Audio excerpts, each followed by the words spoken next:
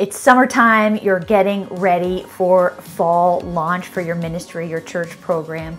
Maybe you have to name something. You got to name a ministry, a program, an event, or you're thinking of going through a renaming of something. In this Word Made Digital tutorial, we're going to talk about what's in a name. How do you name something well in your church ministry?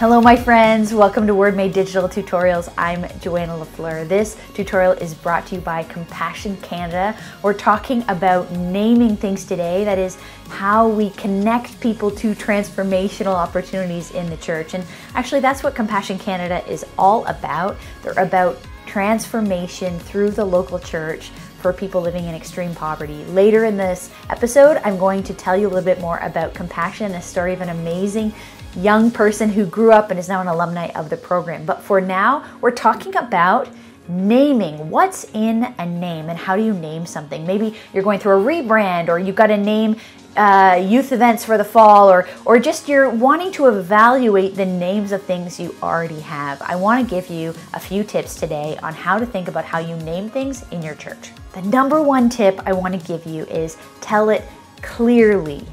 Be clear not just clever. I think a lot of the time we want to name something that sounds exciting and intriguing. We think, oh, if they have to ask more about it or it has a cool name, uh, they might want to come to it. But actually, the point of naming something is to be clear about what that thing is. So, for example, if something is called Braveheart, and then every time someone says, What's Braveheart? you have to say, Oh, that's our men's ministry then you've already taken a step of difficulty. If you were just clear from the beginning and called it men's ministry or men's Bible study or something like that, something clear and direct, then people wouldn't have to do that extra step of getting through the cleverness and the name to get to what it actually is. Remember, this is a conversation about hospitality. That's my next tip for you. We're thinking about how to be hospitable to people through what we name things. Once you're inside of a group, inside of a church, inside of a program,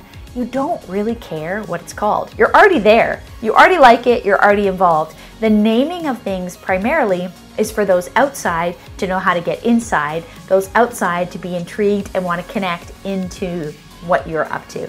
And so it doesn't really matter what your kids' camp is called for people who are already involved, but if it's called, uh, you know, kids getaway and you don't have in the name of it something about the kids camp you're really clever maybe but it's not clear to people we want to be as clear as we can because it is an act of hospitality the second thing I want you to think about when naming a program or a ministry is that spelling matters. I think we've all seen um, churches and ministries who try to use um, things that are hard to spell or things that are like a Greek word, a Hebrew word, something that kind of sounds cool and has deep meaning behind it, but nobody knows how to spell that. And if people don't know how to spell it, they may not know how to pronounce it, but more importantly, they can't Google it.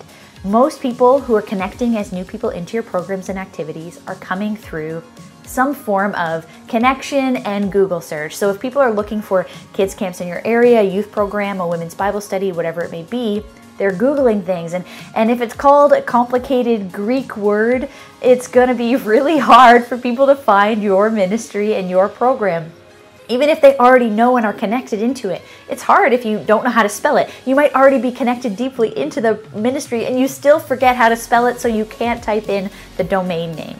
Well, that leads me to my next tip is make sure you check out what other things use that word, name, or phrase on the internet because you might want to get the domain name, you might want to get the social media handle, but if other people have already used, you know, a, a great example is like a St. John's or St. Paul's uh, those kinds of words, uh, of course, are, are used by a ton of churches and a ton of ministries around the world for good reason. They leave a legacy of the apostles. But it does mean it's going to be hard to get the Instagram handle or the name for it. So try to think of something that is clear to you. Maybe it's, um, you know, high school ministry at name of church or high school ministry your town or whatever it is. Um, if you can have the name clearly of what it is and then something that differentiates you so that it can be found on Google and also available on social media handles. It's great if you can have the same consistent handle across all platforms without having to have the underscores, the dash, the dot, you know, the numbers at the end. You know, we've all seen those things. And so it's amazing if we can have the same thing across all platforms. And some of that is if we're researching a new name to call something, our whole church, if it's going through a rebrand, a ministry program, an event, it's awesome if we can find something that is unique to us and then we can be consistent around how we use it and to talk about it on the internet and on social media rather than people looking us up, doing a quick Google search. They figured out how to spell it. The name is clear, or but now everybody else seems to have something of the same name. So make sure you can be as unique as possible so that people can find you. My next tip about naming things is think long term, not trendy.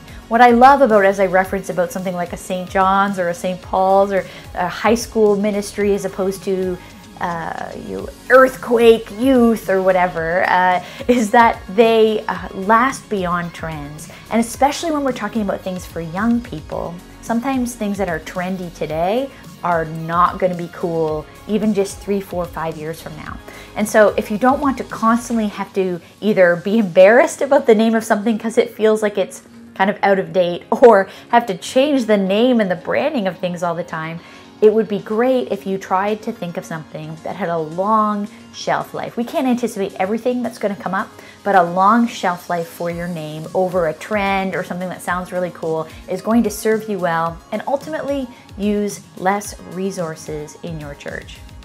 Hope these tips are helping you as you think through naming your church, your ministry, your program, your event as you get ready for your next one, especially coming into the fall ministry season. A big shout out to Compassion Canada for making this tutorial possible. I said I would tell you a little story, and let me tell you a little bit about Ria. Ria is a woman from the Philippines, and she came into a compassion program when she was a kid. And she has this profound quote that says, Knowing someone sees you, that changes you. And it changed her life when she came into a program through her local church connected to compassion in order to come out of a position of like lack of education, lack of healthcare, lack of social activity and cultural things that would kind of enrich her life and give her a future in the world. And so now Ria is an alumni of the compassion program and she is an adult who now, I love this, sponsors a kid in the very community that she came out of herself. It's an amazing way to pay it forward generation after generation, and we can be part of it. You can go to compassion.ca to learn more and to get involved in this kind of sponsorship that is transformative through a church, through a local community, to change the lives of kids everywhere. Well, thank you so much for checking out this tutorial. We have new tutorials coming out every single week. So there's now an archive of tons. If you want to check out more of our tutorials, you can go back in this YouTube archive, hit subscribe so that you don't miss one of these episodes that comes out. We want to give you free resources and free content every single week to help you do what you do. Share not just good news, but the best news in the world. See you next time.